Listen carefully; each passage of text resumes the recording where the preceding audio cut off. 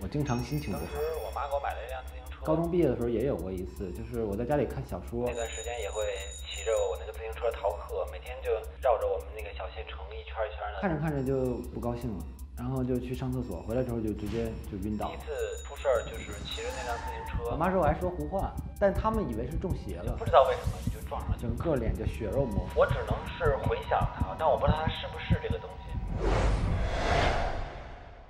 可能它不叫抑郁症，